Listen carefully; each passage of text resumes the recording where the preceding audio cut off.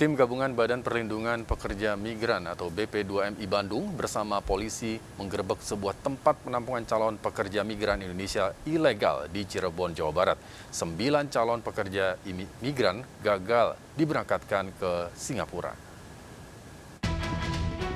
Dari video amatir, petugas gabungan BP2MI Bandung dan polisi menggerebek wisma di Kabupaten Cirebon, Jawa Barat.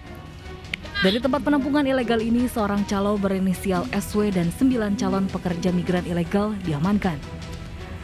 Para calon pekerja migran akan diberangkatkan ke Singapura sebagai asisten rumah tangga. Kasus ini terungkap berawal dari informasi masyarakat terkait tempat penampungan milik PT Akarina Utama Sejahtera. Izin operasional perusahaan ini sudah dicabut Kementerian Tenaga Kerja sejak 14 Februari 2020.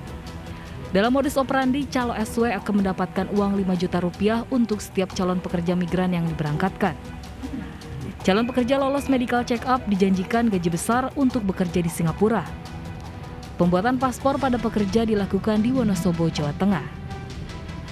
Untuk setiap CPMI yang lolos medical check up dijanjikan diberikan uang fee sebesar 5 juta rupiah per orang di mana semua proses pemberangkatan dan kelengkapan berkas diurus oleh saudari Sriwati. Sriwati sebagai tersangka karena laporan yang kami terima hari ini Polres Cirebon telah melakukan gelar perkara dan langsung menetapkan Sriwati sebagai tersangka dan statusnya dalam tahanan. Setelah melakukan gelar perkara, polisi telah menetapkan calo SW sebagai tersangka dan telah ditahan di Mapores Cirebon. Sedangkan sembilan calon pekerja migran dikembalikan ke keluarganya.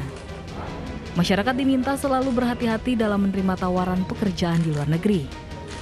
Dari Bandung, Jawa Barat, Ervan David melaporkan.